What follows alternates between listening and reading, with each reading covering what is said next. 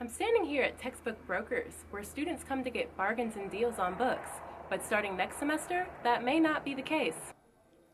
Next semester, Middle Tennessee State University will be trialing a program called Include Ed by Follett Corporation. This program will be put in some of their general education courses, including University 1010 and some astronomy classes.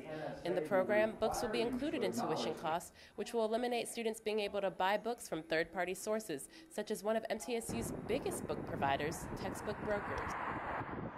This is Robert Batchelor. He's the manager and co founder of Textbook Brokers, and he believes a program such as Follett could negatively affect the students. It would have a negative impact on the student. So, anytime you take away choice, it's not good for anyone. Although he could lose business in the future, he believes the company will continue to do well. We, we adapt all, every day and we have different opportunities, so we're constantly adapting and growing.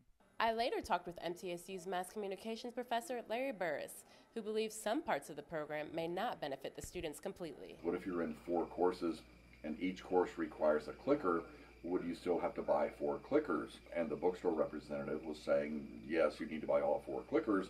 That doesn't seem reasonable. Burriss is not opposed to the ideas, but wants whatever is best for students. Bundling seems to work. The issue that some of us have is with this book you may not need.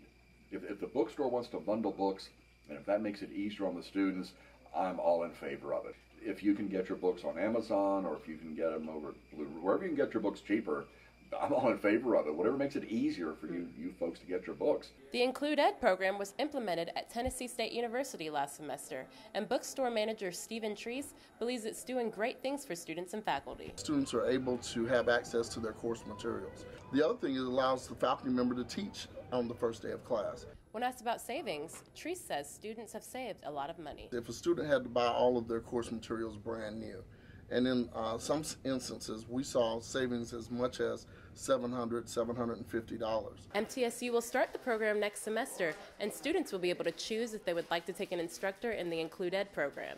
Reporting for MT10 News, I'm Gabrielle Woodland.